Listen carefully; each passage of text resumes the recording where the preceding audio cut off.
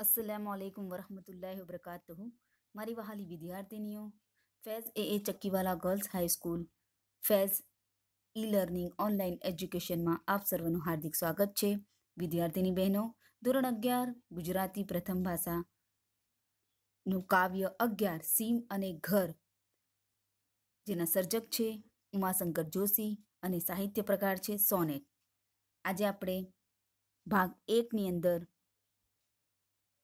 સર્જક વિશે માહિતી મેળવીશું. ઉમાશંકર જોશી. ઉમાશંકર જોશીનો જન્મ એકવીસ સાત ઓગણીસો અગિયાર ઈડર તાલુકાના બામણા ગામમાં અને મૃત્યુ ઓગણીસ બાર ઓગણીસો અઠ્યાસી મુંબઈ ખાતે વાસુકી શ્રવણ એમનું ઉપનામ. ઉમાશંકર જેઠાલાલ જોશીનો જન્મ સાબરકાંઠા જિલ્લાના બામણા ગામમાં થયો હતો. તેમના પિતાનું નામ જેઠાલાલ અને માતાનું નામ નવલબહેન હતું. ઉમાશંકર જોશીએ સાત ધોરણ સુધીનો અભ્યાસ, ઈડર અને એમએ સુધીનો અભ્યાસ અમદાવાદમાં કર્યો હતો. મુંબઈમાં શિક્ષક તરીકે જોડાયા હતા, પછી અમદાવાદમાં અધ્યાપન કાર્ય કર્યું હતું.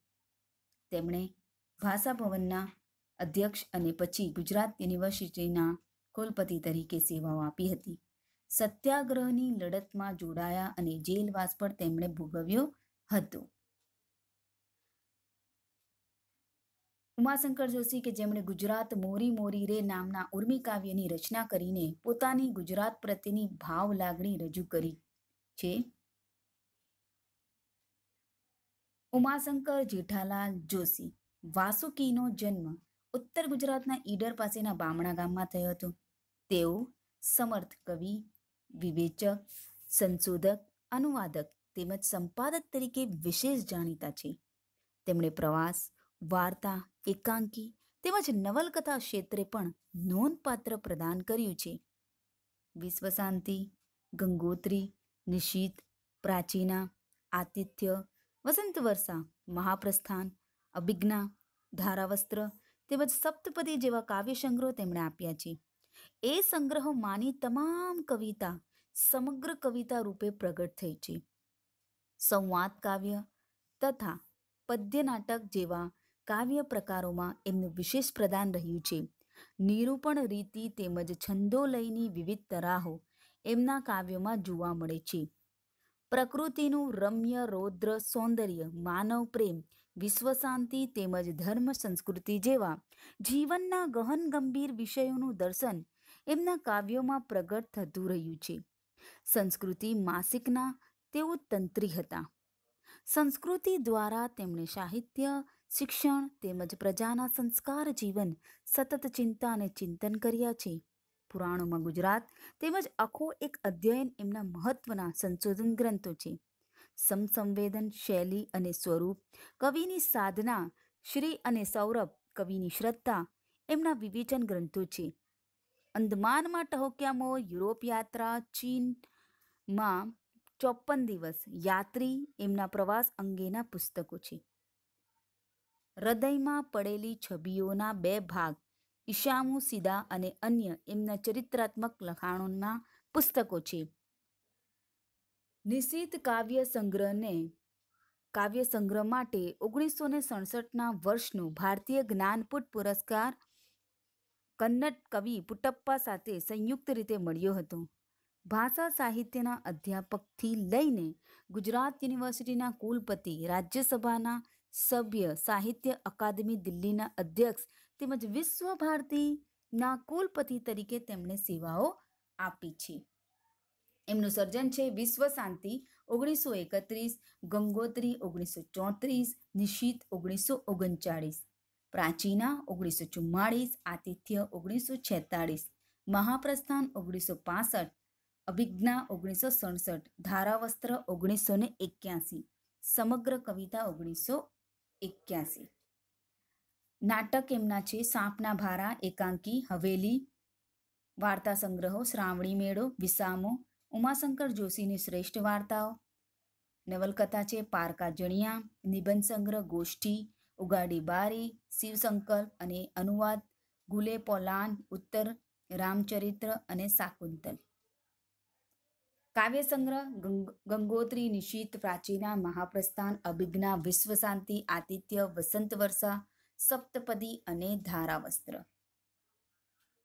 વિવેચન સંગ્રહ. આખો એક અધ્યયન, સમસંવેદન, અભિરુચિ, શૈલી અને સ્વરૂપ, નિરીક્ષા, કવિની સાધના, શ્રી અને સૌરભ, પ્રતિ, પ્રીતિ શબ્દ, કવિની શ્રદ્ધા, શબ્દની શક્તિ, નિશ્ચયના મહેલમાં.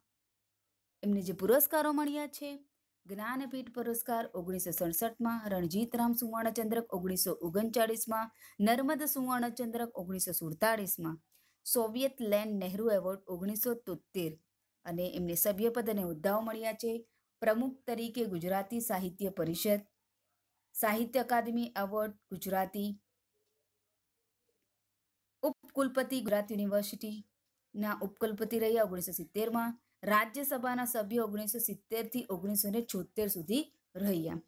હવે વિદ્યાર્થીની બહેનો, આપણે સોનેટ વિશે અભ્યાસ કરીશું કે સોનેટ, જે આપણે સીમ અને ઘર કાવ્ય ભણવા જઈ રહ્યા છીએ, તેનું પ્રકાર છે સોનેટ. એટલે સોનેટ વિશે માહિતી મેળવવી ખૂબ જરૂરી છે. સોનેટ એ મૂળ ઇટાલિયન કાવ્ય પ્રકાર છે. તેરમી સદીના જેકોપો લેન્ટીની નામના સિસિલી, ઇટાલીના વિદ્વાને તેને પહેલી વખત ફેડરિક બીજાના દરબારમાં રજૂ કર્યું હતું. પણ સોનેટ લોકપ્રિય થયું હોય તો ચૌદમી સદીના ફ્રાન્સિસ્કો પેટ્રાકાની રચનાઓથી થયું છે. આપણી ભાષામાં સોનેટ અંગ્રેજીમાંથી આવેલું છે. અંગ્રેજીમાં સોનેટ કાવ્ય રચનાનો પહેલો ઉપયોગ થોમસ થોમસ વ્યાટે સોળમી સદીની શરૂઆતમાં કર્યો હતો. એમ મનાય છે. ઘણા અંગ્રેજ કવિઓએ ઉત્તરોત્તર સોનેટની શૈલીને વિકસાવવામાં ફાળો આપેલો છે. પણ શેક્સપિયરની, શેક્સપિયરને અંગ્રેજી સોનેટના સૌથી મહાન કવિ ગણવામાં આવે છે. ગુજરાતીમાં સોનેટના પ્રથમ પુરસ્કર્તા શ્રી બળવંતરાય ઠાકોર હતા. સોનેટ શરૂઆત ઇટાલીમાં ગ્વિતોની નામના કવિએ કરી. અંગ્રેજી સાહિત્યમાંથી ગુજરાતીમાં આ કાવ્ય પ્રકાર આવ્યો છે. ગુજરાતી સાહિત્યમાં પ્રથમ સોનેટ ભણકારા બળવંતરાય ઠાકોરે આપ્યું. આ પૂછાઈ શકે છે, સ્પર્ધાત્મક પરીક્ષાઓમાં સોનેટ ચૌદ પંક્તિનો હોય છે. શિખરણી, મંદાકાંતા, હરિણી સ્ત્રદ્ધરા પૃથ્વી, શાર્દુલ, વિક્રડિત જેવા અક્ષરમેળ છંદોમાં સોનેટની રચના કરવામાં આવે છે. લક્ષણો એના છે. ચૌદ પંક્તિમાં લખેલું કાવ્ય હોય છે. પહેલા સોનેટ વિષય પ્રણય હતો. ગુજરાતી સોનેટો પ્રણય પ્રકૃતિ, ચિંતન જેવા વિષયોમાં રચાયા છે. એક જ ભાવ કે વિચારને નિરૂપણ. ગુજરાતી સોનેટો મોટા, મોટે ભાગે છંદોબદ્ધ રચાયેલા જોવા મળે છે. સોનેટના અંત ચમત્કૃતિવાળો હોય છે. સોનેટ સ્વયં પર્યાપ્ત કૃતિ હોય છે. સોનેટના પ્રકાર. સોનેટના ત્રણ પ્રકાર છે. પેટ્રાકર્ણ આઠ પ્લસ છ પંક્તિ. આઠ વત્તા છ પંક્તિ હોય. Shakespearean sonnet. ચાર ચાર ચાર અને બે. એટલે ચૌદ. મિલ્ટન અથવા અનિયમિત સોનેટ, ચૌદ પંક્તિ. સોનેટ અને આધુનિક કવિઓ અને પ્રાચીન કવિઓ પાસેથી મળે છે. તેમાં મુખ્યત્વે બકર ઠાકોર, રાજેન્દ્ર શાહ, ઉસ્નસ, ચીનુ મોદી, ભગવતી કુમાર શર્મા, ગુણવંત ગુણવંત વ્યાસ, સુંદરમ, સુરેશ દલાલ, નિરંજન ભગત વગેરે કવિઓ પાસેથી મળે છે.